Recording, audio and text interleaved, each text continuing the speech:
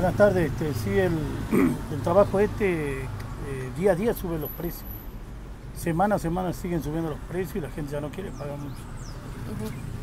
Eh, ¿Cuánto sale un arreglo, por ejemplo, de cambio de suela de zapatos? Y de zapato está a 5 mil y bota de trabajo 6 mil. Imagínense que iban a querer pagar. O sea, ¿cuánto se suma en total? ¿10 mil pesos?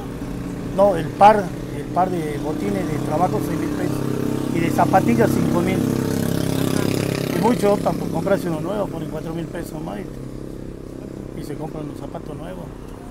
A usted, bueno, ¿cómo lo afecta esta situación? Atento a que de pronto eh, venían siendo demandados como mano de obra, sin embargo, bueno, ¿cuál es la situación? Bueno, y cómo eh, hace para sustituir, sustituir en este caso.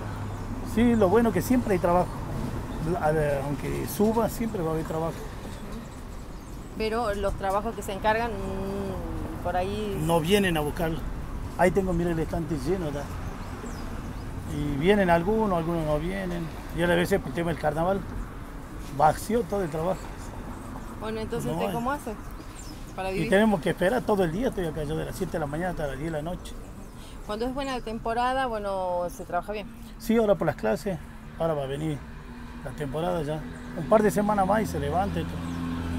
Pero lo mismo sigue sirviendo.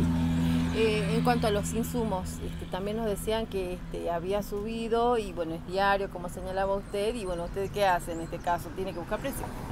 No, porque en todos lados está el mismo precio, está eh, pegamento, los hilos. Los hilos están como 3 mil pesos, está el rollo, ¿no? Cada color. Y hay que seguir nomás trabajando.